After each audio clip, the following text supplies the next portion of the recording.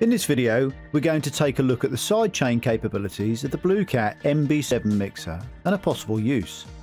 For example, it can be used to create a multi-band compressor. I'm going to use a kick drum, a sidechain signal and a compressor in one of MB7's band 1 effect slots to reduce the low end gain of a stereo track every time the kick sounds. Let's take a look at how to do that. Begin by inserting the BlueCat MB7 mixer on the target track this is a track we wish to apply compression to. On the source track that we're using to trigger the compression, insert a send to the MB7 sidechain input. For purposes of this demonstration, I'm going to make the send pre-fader and mute the track. Open the MB7 mixer interface and insert BlueCat's Dynamics plugin into one of the Band 1's effects slots. Load a preset set up to produce gain reduction when the kick sounds. Now let's listen to the sidechain signal coming from the drum track. As I adjust the sidechain filter, you can hear more and more of the drum track. As I want just the kick to trigger the compressor, I'll reduce the high cut back down again. Turn off the sidechain listen facility and you can hear the compression being applied to the low end of the track. Listen as I A-B the effect by bypassing the compressor.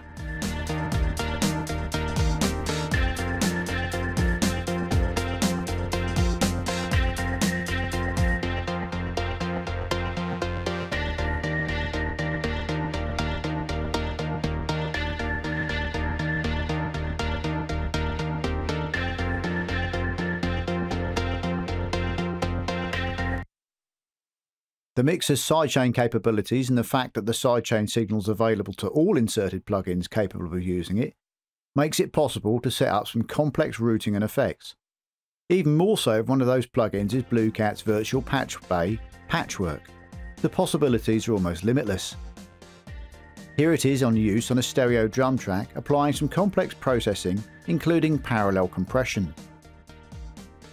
Patchwork is being used as three parallel chains.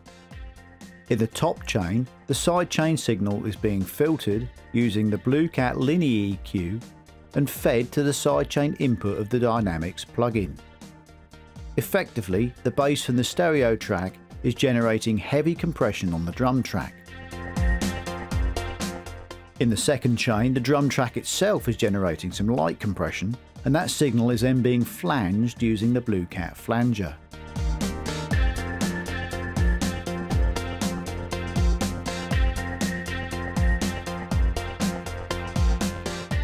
The third chain is just a straight through dry signal for the drum track. All of this processing is being applied to the kick and snare by using the band 1 frequency cutoff control, leaving the hi-hat higher frequencies completely unaffected. Listen to the differences as I A-B first the overall processing and then some of the individual processes that are part of the overall effect.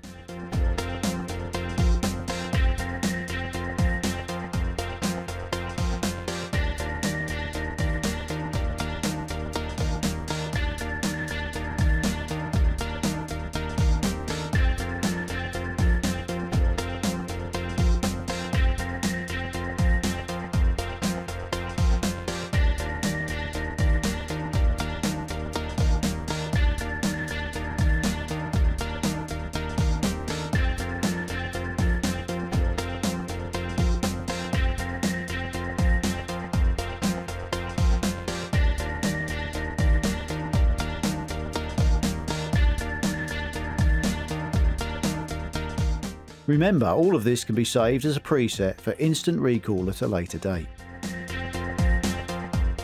And that's just one of the many uses of BlueCat's MB7's sidechain abilities.